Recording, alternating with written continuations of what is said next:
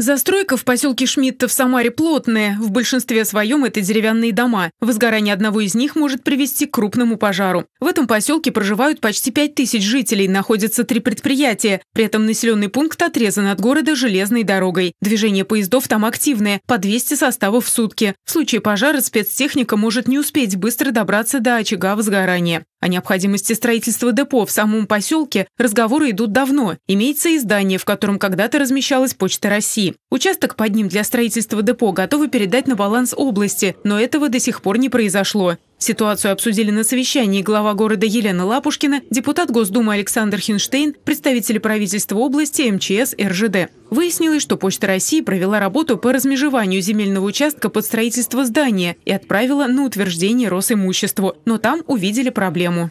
Часть образуемого земельного участка, включая объект капитального строительства в виде дорожного покрытия дорожной площадки, проходит через него проходит красной линии. С учетом потребностей по застройке данной территории, возможно, здесь мнение МЧС, нужно услышать, э, изменить границы образуемого земельного участка. Это, в принципе, все часть автобазы, вот, но несколько границы подвинуть можно. Потому что здесь заходят на красной линии не критично, то есть нельзя сказать, что они там посередине участка проходят, они только краешком касаются.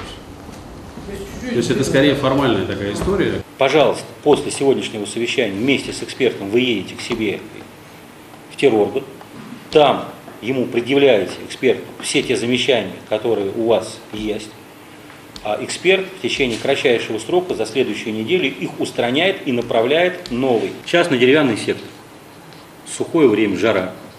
И вот именно в этот момент, когда нужно будет туда въехать, значит, машинам пожарным, в этот момент у вас будут идти составы, и вы их не остановите. А там каждая минута, она минус дом. Профильные структуры должны в течение двух недель привести документы в соответствие, после чего пройдет еще одно, на этот раз выездное совещание. Депутат Госдумы обещал держать руку на пульсе. Виктория Шара и Николай Пифанов. События.